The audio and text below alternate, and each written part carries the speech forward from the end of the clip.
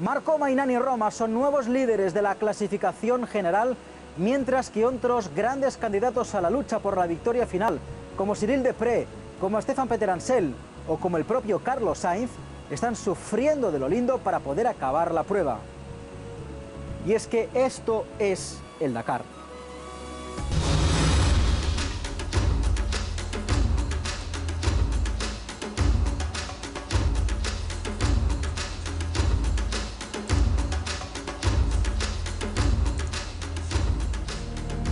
De etapa primera de este Rally Dakar 2014 para Marc Coma.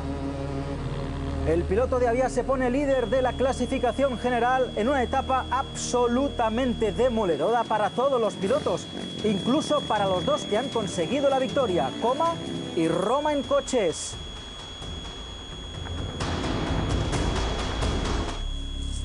Etapa mala de verdad para Gerard Farrés se le incendió la moto y el piloto de Manlleu tiene que abandonar, igual que el de Honda Paulo González. Fijaos qué imágenes deja la quinta etapa del Rally Dakar. Del infierno a la gloria, Nani Roma ha conseguido la segunda victoria de etapa en esta edición del Rally Dakar y el piloto, el gigante de Folguerolas, recupera el liderato en la clasificación general.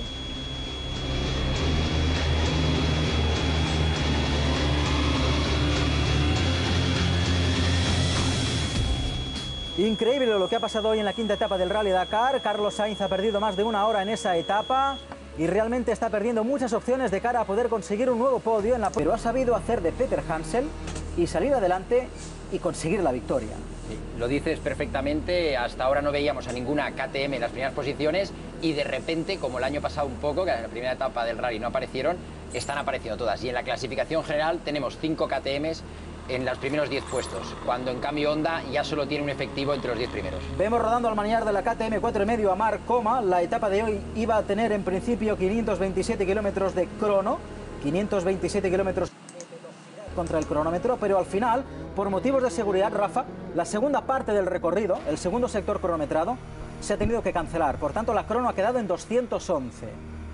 Y has visto las que han llegado y has visto cómo está el lío. Bueno, aquí muy importante, hoy un problema en el depósito de gasolina trasero de la moto de Marcoma en el, CP, en, el CP1 cuando ponía gasolina. Suerte que ha podido reparar, si no, no hubiera llegado. Y aquí Jordi Viladoms.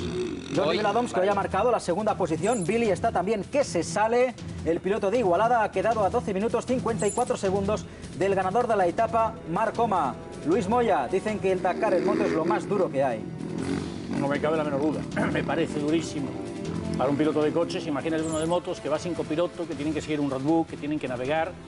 Y desde luego mi admiración para Laia Sanz, eh, aunque me dabais ahora la noticia que parece ser que lo han penalizado. última hora, es penalización de una hora para Laia Sanz. Ahora ahondaremos en esa última hora. Mientras vemos a otros pilotos, el de Honda, de Rodríguez, ex campeón del mundo de rallies cross country, pero abundando en lo duro que es ir al Dakar en moto.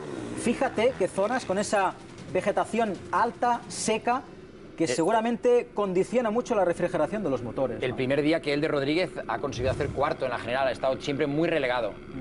Además, yo veo el Dakar durísimo. Se habla de veces de que si África era más duro, yo creo que... Mira, mira, mira aquí. Caída de este Chaleco López. Este es Chaleco López y Oliver, y Oliver Payne ahora. Igual. Con Yamaha lo mismo. O sea, estamos, estamos en una arena muy, muy, muy blanda que hace que, realmente... este es Barreda. Dinamita Barreda realmente había conseguido dos victorias de etapa y hoy Luis ha perdido más de 40 minutos pues por culpa de varios eh, problemas, ¿no? Entre ellos el sistema de gasolina de esa Honda número 3. Cyril Depré, ¿te sorprende que Depré esté tan lejos en la general? Ahora mismo es octavo a una hora 23 de Marcoma.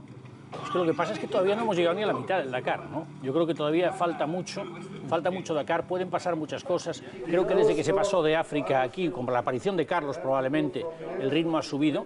Entonces yo creo, eso lo decía antes a Rafa Tibao fuera de los micrófonos, yo veo que el Dakar en, en, América es muy difícil de abandonar, porque siempre alguien te ayuda. Por lo tanto, el sufrimiento es mucho mayor, porque no puedes retirarte nunca. Yo creo que hay veces que llega un momento que dices, me retiro y carajo. Pero Fíjate, eso. una de las imágenes de la jornada, la gas-gas del piloto de Manlleu, Gerard Farrés, arde en llamas y el piloto de Banjeo, lógicamente, pues frustrado porque quería conseguir llegar al final de este Rally Dakar 2012, además haciendo muy buenas etapas en el top 10 o rozando el top 10. Kilómetro 143, kilómetro también rompedor para muchos pilotos, incluso para Paulo González, piloto de Honda, una moto muy fiable pero que hoy ha dicho basta. Joan Pedrero pasa al lado de González, Pedrero sigue adelante, lógicamente la gente dirá, podría haber parado, pero es que no podía hacer nada para evitar las lágrimas de González, Rafa.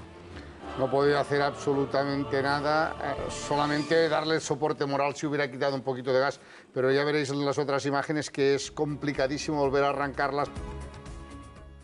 Con mucho calor, con... siempre estamos en el límite con la navegación porque con las lluvias no- prácticamente no se ve nada y para llegar al final he hecho más de 10 kilómetros perdido en el río y bueno, pero en general creo que ha sido duro para todos, ¿no? Pero, pero ya te digo, en cualquier momento nos puede tocar a nosotros perder mucho tiempo porque sobre todo cuando vas delante abriendo pista es, eh, estás jugando la ruleta rusa prácticamente. Bueno, eh, en la primera parte de la especial he tenido un problema con el sistema de, de gasolina.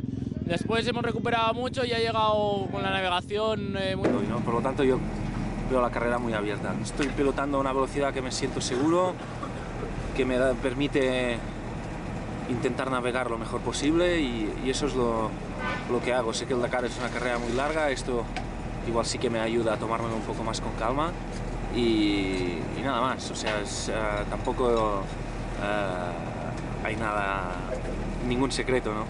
Son las 4.48 de la madrugada, arranca la etapa para Marcoma que parte en tercera posición, en sexta lo hará el actual líder Joan Barreda por delante, más de 900 kilómetros, 400 de ellos cronometrados. Bueno, realmente, vos, WeRide ha colgado una foto y dice, hola a todos, hoy me estreno en WeRide y he querido dejaros la imagen del neumático. Fíjate, Carlos, cómo llegó la goma al final de la etapa maratón. Sí, esta es una foto de la, de Está la muy bien etapa ese maratón. neumático, ¿no? Está Teniendo en cuenta la tralla que le han dado. Realmente está, está bastante bien, pero tenemos que tener en cuenta que Y ha sufrido un conato de incendio que ella misma ha apagado en su moto. Y no es porque las mecánicas vayan mal, simplemente porque la vegetación alta y seca obstruía de alguna manera las entradas de refrigeración de los, de los motores. Este es el incendio de la Gas Gas de Gerard Farrés. Hemos visto unas imágenes en que Gerard Farrés paraba a otro piloto y le decía, saca, era- saca las arenas. era Marguas, es Marguas, Perdón, Marguas, es Marguas, compañero perdón, es de. Marguas, es compañero de Gerard y le estaba quitando las... Y veréis que ahora se arrodilla y le quita las... las, las O sea, las lo avisa. hojas, ¿ves? Y lo avisa porque... avisa. Lo avisa porque es como han, a- Gran se han gesto, quemado. gran gesto de Gerard Farrés que seguro han visto sus sí podrá ser triunfo para Jorge Gómez en 2014, pero seguro que el canario volverá en 2015 y sí podrá llegar a la meta de la prueba más dura del mundo del motor. Hablamos de quads hoy, victoria para el uruguayo Sergio Lafuente en quads, señoras y señores. La cosa es de sudamericanos, Lafuente primero y el perro Casale, Ignacio Casale, el chileno ha quedado segundo a 1.21 después de los 211 kilómetros de crono. En la general sigue mandando Casale con 13 minutos sobre La Fuente. Hoy Sebastián Husseini, piloto holandés de origen dubaití, ha tenido problemas y eso que iba líder al principio de la etapa. Este es Rafael Sonic. Hablando de Husseini, ha hecho, fijaos, dos kilómetros en dos horas. Infinito. Claro, bueno, porque ha tenido muchos problemas, ha tenido que, se ha tenido que enganchar. Debe- estos, estos quads cuando dan problemas dan muchos problemas.